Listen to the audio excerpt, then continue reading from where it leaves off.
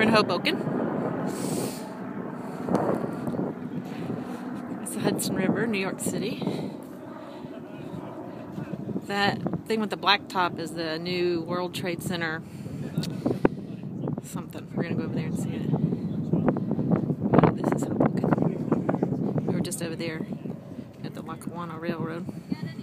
No, but I'll get something out of the trash can. Huh? Okay. Max, you have to go?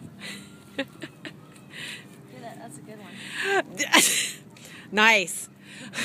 You got a plastic bag or something? No, but maybe the trash can does. This is pretty on here. This park. What's this park called? And donut. Dunkin' Donuts. That's a good thing. Because Dunkin' Donuts tastes like shit anyway.